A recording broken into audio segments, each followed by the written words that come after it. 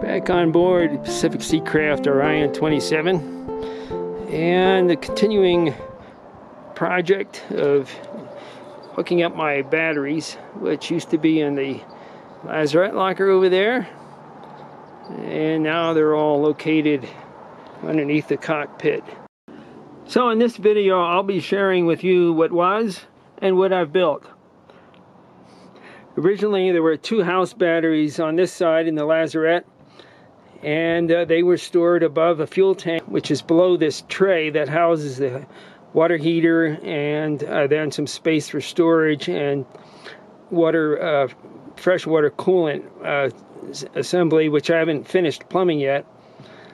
But if you think storing two lead acid batteries along with a propane tank on top of a fuel tank was a bad idea you had no say in the building of this boat back in 1979 Here's my redesign of this system. All my batteries are now housed under the cockpit floor in a fiberglass reinforced plywood box. They sit behind the engine. It's not a cool place when the engine's running, but it's the most space I've found for storing batteries on this boat.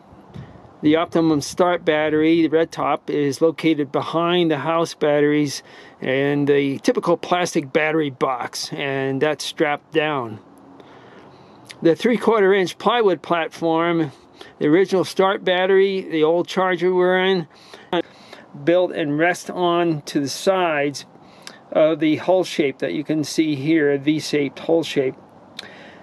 And uh, that formed a limitation for how high of a box I could build. The house battery box is made out of half inch plywood uh, screwed together and then layered with uh, two or three, depending upon where, uh, corners, for instance, three layers of fiberglass and coated uh, polyester resin. And, uh, and then finally gel coated. I built in air vents uh, to help facilitate airflow into the battery box when the lid's on. There's a gap here of about an inch between batteries and then I have drain plugs uh, for each bay. The, the partitions here are about half the height of the battery box, somewhere around here. And the reason why is because I have to tip the starboard or port side, or starboard or port side batteries uh, into place. There's not enough vertical room here to uh, just drop the batteries in vertically.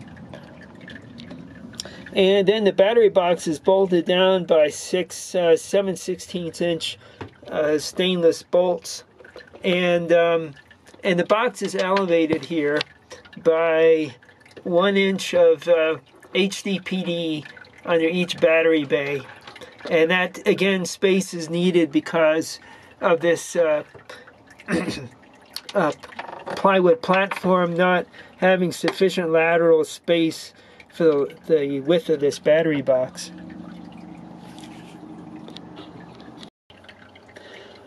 The nylon bolts or plugs on each in case here uh, allow drainage of the battery bay in case there is a flood or water somehow gets in there.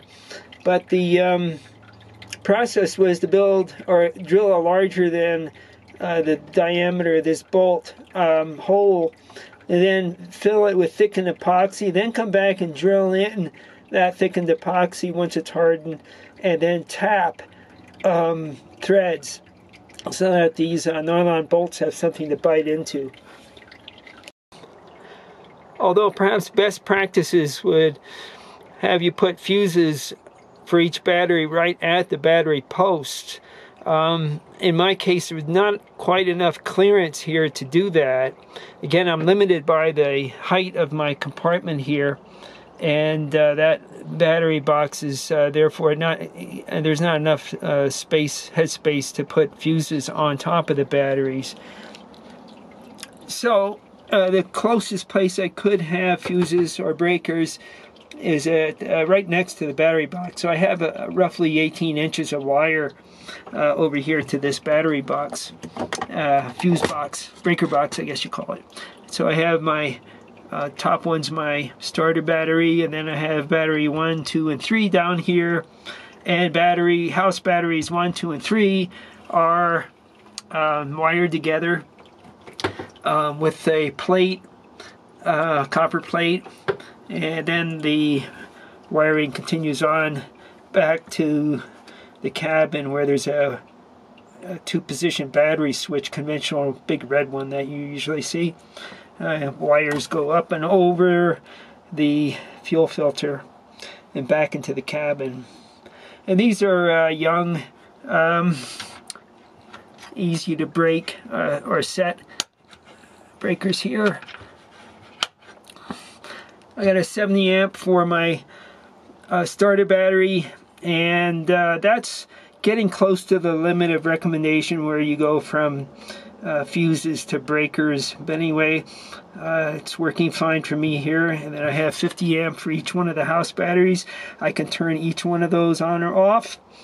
And um, my charging systems on the other side of the engine compartment I have a Pro Mariner just for the start battery and then I have this larger one down here that's for the three house batteries. And the reason why I went that way is because if something happens to a charger I do have some sort of a backup to uh, at least charge batteries until I could get my battery charger replaced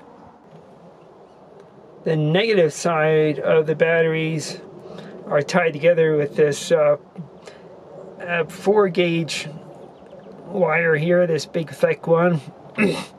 and there's a, a, six gauge one back there for the optimum battery. And they follow the line down here and are tied together on a plate. The plate is down here on the starboard side.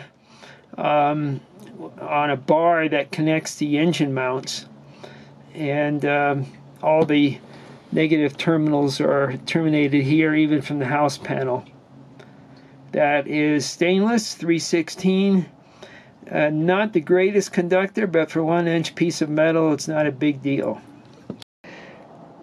As I mentioned previously each battery under each battery are two 716 stainless bolts that hold the battery box down onto the three quarter inch platform.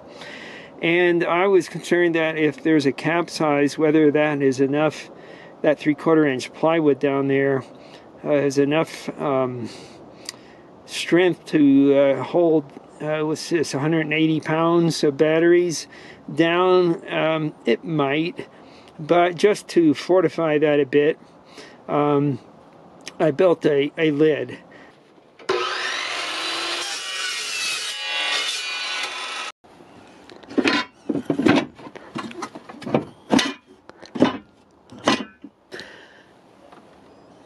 Now that's the back L bar.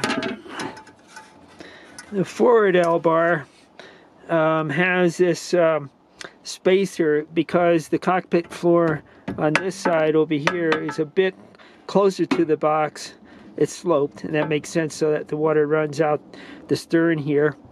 And um, it, eh, compared to the forward side so I have to build it I had to build a spacer to take up the difference.